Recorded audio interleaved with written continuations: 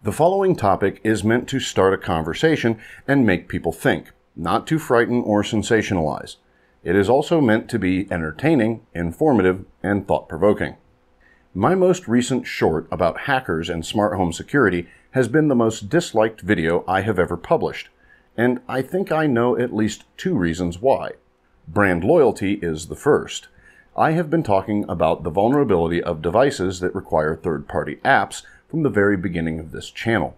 I am strictly against any product that takes control of your home or your possessions away from you. This is likely to upset some people who like their Apple Home or other devices that require a cloud service. It is not meant to. If it works for you and you're comfortable having that dependency, I don't hate you for it.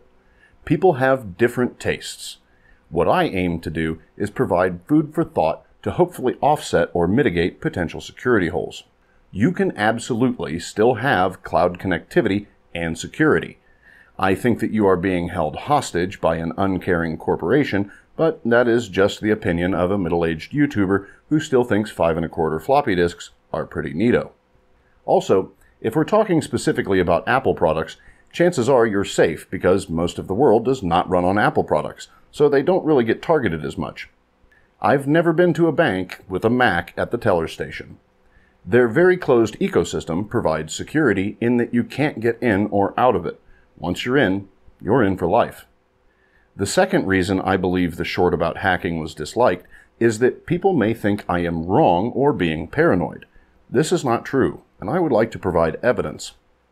I am going to gloss over being held hostage by subscriptions or third party app dependency and strictly talk about security, since that is the context of the video.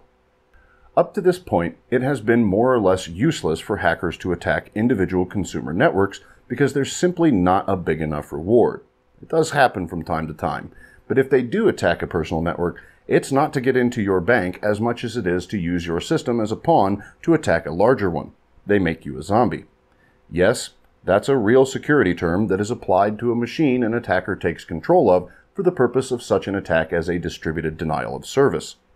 It's the distributed part that requires zombies. When I mentioned the state funded hackers in the short, I was alluding to the recent attack by Chinese hackers on residential routers, as well as the backdoors quite a few Chinese manufacturers were caught installing in the firmware of large backbone devices. Backbone devices are exactly what they sound like. They are the backbone or central trunk of the internet. They live not between you and your internet service provider, but rather between your internet service provider other internet service providers, specialized large wide area networks, and the root servers. The root servers are enormous server farms that are responsible for translating top level domains to the appropriate route. When you navigate to a website, the server at your ISP gives your computer an IP address associated with that site so it can actually talk to the server at that address. Before that can happen, the ISP server has to ask another server above it where to look. That server is usually a root server. For those watching who have a deeper understanding of DNS and the internet backbone, I know this is an oversimplification, but it's adequate for the purposes of this video. The important thing here is that there were several devices in that higher tier infrastructure that had backdoors embedded in their firmware that weren't caught for up to a decade. In fact, we suspect there may still be some out there that we don't know about. There are ones that we do know about, but we've isolated because it's simply impossible to just unplug them and swap it out. That would be like trying to patch a pothole in the middle of a six lane highway during rush hour. But this is all way above your personal network. So let's go back to the even more recent attack on residential routers. Why do you suppose these hackers wanted to hack into your tiny little personal network? To get your bank or investment login? Not likely. There are two primary goals for these kinds of attacks information gathering and resource exploitation. But isn't my bank or investment login information? I hear someone in the back ask without raising their hand. Yes, but that's not the information they want. Consider the biometric data China and other nations have been collecting either directly or through attacks on companies like 23andMe. Knowing what our health problems are, where we spend most of our time, what we like to do, and how we use our computers is all crucial to someone who may want to know what we're capable of, where we let our guard down, or how to weaken our infrastructure. That last part is particularly important to the context of this video. The next bit is going to contain quite a bit of supposition, but I ask that you bear with me. Imagine a smart device with a microphone sitting on a compromised home network. Now imagine that the person who owns this device works in security at a utility company, or is an engineer that designs some critical piece of infrastructure. Anything they say near that device is now a potential security breach. That's an unlikely edge case, but it's not as improbable as you might think. Corporate espionage, politicians bugging other politicians, and countries passively spying on each other are all very real and frighteningly common occurrences, and that's only counting the ones who've been caught. Now, imagine a doorbell camera installed on a house that faces a power substation, waste management facility, government building, or is even near enough to any of these that the passing of vehicles with various markings could be observed. There are a lot of things you could ascertain from this information, such as maintenance cycles or even just when a building is likely to be empty. Again, a very unlikely edge case, but it is something to at least consider. If something bad has a chance of happening that could easily be mitigated, you should mitigate it regardless of how small a chance there is of it happening. How do we mitigate these threats? Well, I'll talk about that a bit later. There are other, much more sinister, plausible, and already known threats to our infrastructure. I have said this in a past video, but it bears repeating. Many devices we are installing in our smart homes are PLCs, programmable logic controllers. They're not as industrial as the ones in, say, a nuclear power plant, but that only makes them more susceptible to failure, not any less appealing as a target. A programmable logic controller is more or less what it sounds like. It's a device that uses software or firmware to monitor sensors or user input and turn switches on or off based on the information and instructions or rules it's given. An example of an industrial PLC is this guy, a Siemens logo PLC. If you watch my channel regularly, you may notice it looks a little bit like one of these, a Shelly Pro 4PM. That's because they have a lot of features in common. They both mount to a DIN rail, they both control four circuits using mechanical relays, and they're vaguely shaped the same. The difference is that the logo has much more sophisticated firmware, 8 digital and 4 analog inputs, and is a bit more robust in its construction. The logo is meant to connect to various sensors in a machine and control its operation by powering or disconnecting power to motors, valves, hydraulic or pneumatic actuators, and so on for manufacturing or processing purposes. It's neat. The Shelly unit is also neat, but you're not likely to see it controlling anything industrial. This is a smart plug of a brand I will not mention, and it does not work. The reason it does not work is because I've destroyed it internally. I've never shared the details of how I accomplished this before because I did not want to encourage this sort of thing. So, you know, don't go trying to do what I'm about to describe. This plug, like many, if not most, other smart devices, has a local or ad hoc network that you connect to from your phone or computer in order to set it up on your Wi Fi network. Some devices do this over Bluetooth, which is worse if you know how to reverse engineer the communications protocol they use with their apps, which is not difficult for those with that sort of knowledge.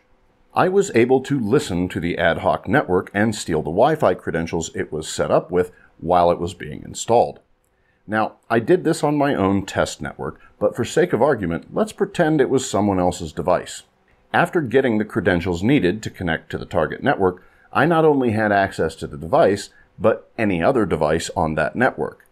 This would not be easily detectable, especially if I just tucked that information under my hat for a rainy day. Since I've had access to this device during the entire setup, I could also intercept the plain text login information that was set up on the device itself because it was sent over plain old HTTP. The reason for this, I'm sure, is so customers won't get an SSL certificate warning accessing the device through secure HTTP, HTTPS, and mistrust the configuration address, the device, or its manufacturer. I could intercept this login information before or after the device was connected to the personal Wi Fi because even once it's connected to the Wi Fi, it's still accessed over HTTP. But you may be wondering, how did this destroy the device? Once I had access to the device, and remember, I can do this right away or I can sit on it and wait for an opportune time, I began testing the speed at which it would allow me to send toggle commands. It turns out it let me send them very fast. So fast, in fact, that it destroyed some internal component. I didn't bother checking to see which one, killing the device. If this device had been connected to something like a fan or heater, I would have been able to toggle the relay slow enough for the device to survive, but fast enough that the induced current would overwhelm the smoothing, or the coil would simply overheat and weld itself together. Either way, likely killing the appliance. The attack I executed on this little plug is a problem we've been aware of for at least 17 years, and it is still a vulnerability in these devices as well as some slightly larger ones. This is an industrial diesel generator, the kind used as backup in power plants or to power the coolant systems in nuclear power plants. This generator is usually controlled by a SCADA system. SCADA is Supervisory Control and Data Acquisition. The SCADA system in this case monitors the generator to ensure reliable operation and maximum efficiency. The system is capable of not only monitoring, but as the name suggests, controlling various parts of the generator, including the output to a power substation. The massive diesel engine powers an alternator, which is connected to the output shaft via a variable speed clutch assembly. On March 4, 2007, a team of computer scientists and engineers from the Idaho National Laboratory executed a cyber attack on the SCADA system of a similar diesel generator as a demonstration. What you are witnessing here is a 3,000 horsepower, two and a quarter megawatt generator weighing 27 tons hopping on its steel I-beam base bolted to a concrete slab it takes a lot of force to produce a large amount of current. This is because of the bicycle chain example I gave in a previous video. So if you were to spin up a large generator and then break the circuit it is connected to, the inability to push the current will seize the generator. And that is exactly what you are witnessing here. The attack involved cyclically toggling breaker switches on the output of the generator to stall the alternator. This is much like throwing a stick into the spinning wheel of a moving bicycle, or as one of the scientists involved put it, suddenly throwing your car into reverse while you're driving on the expressway. In under three minutes, the generator suffered catastrophic failure and was destroyed. At this point, you probably think I've gone way off topic and that this has nothing to do with smart homes or personal network security breaches, but allow me to connect the dots. Our power grid, any power grid really, has to maintain a near perfect balance of supply and demand. When demand increases, there are mechanisms within the substation network that transfer extra power to that area. When demand decreases, the grid moves that surplus to where it is needed. Power plants also adjust their output when necessary. If this balance is tipped, failure occurs. In 2003, in my home state of Ohio, some tree branches fell on just the right power lines. Several substations were suddenly overloaded and had nowhere to transfer the extra power. The result was a cascading failure that knocked out power to 55 million homes and caused almost 100 deaths. Over 500 generators were overloaded and shut down at 265 power plants in the United States and Canada. This became known as the Northeast Blackout. As an aside, when this happened, I was at home watching the remake of Texas Chainsaw Massacre with a friend who was into horror movies. This did not have a positive impact on our viewing experience, though it did add to the general ambiance. If I am a bad actor looking to do some damage, having access to one or two smart homes only really affords me the opportunity to be mildly annoying. But if I have access to hundreds, thousands, or possibly millions of smart homes, now I can wreak havoc. I can create spikes in the grid simply by sequentially cycling inductive loads like furnaces, air conditioners, or fans. I can also turn everything on that I can and put an enormous demand on the system, then shut them all off simultaneously, which would trip several safety mechanisms at numerous power substations, potentially adding ambiance for anyone watching a horror movie at the time. This is just one example of the kinds of things we need to think about when we connect massive amounts of appliances, lights, and cameras to the internet. We need to ask ourselves if it's worth a little novelty or extra convenience to make our dishwasher internet capable. I'm not saying don't make smart homes. I have a smart home and I love it. I encourage people to do the same because it can drastically improve quality of life and comfort. But I think we need to be leery of being so cavalier about it all. The companies that make these devices do not care if you are safe. They only care insofar as they have to in order to get your money. They only care that you buy their product and subscribe to their services. Like a Michael Bay film, it doesn't matter if it's bad once you've paid for it. I hope this makes everyone step back and consider how they're designing their smart homes. I can't communicate to the manufacturers of these devices, but I can talk to you. I don't want you to be afraid. I want you to be aware and mildly afraid. The hacks that were executed recently on residential routers were absolutely carried out by state funded hackers in China. This isn't the first or the last time this sort of thing will happen and it will get much more complicated and potentially dangerous if we let it.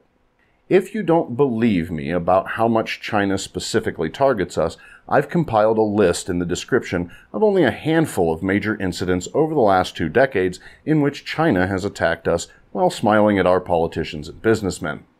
I encourage you to research these things for yourself. Buy only the devices that are manufactured by companies that are willing to guarantee your safety and pressure the others to follow suit or go away.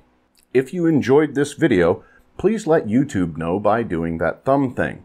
Not that thumb thing. The one down there somewhere. I want to thank my viewers, subscribers, and especially supporters for continuing to make this channel possible. These individuals are kind, generous, talented, attractive, and rumored to have unique superpowers making them superior to the average mere mortal. Thanks for listening to me ramble, and I do hope you'll join me for future videos as I continue exploring smarter circuits.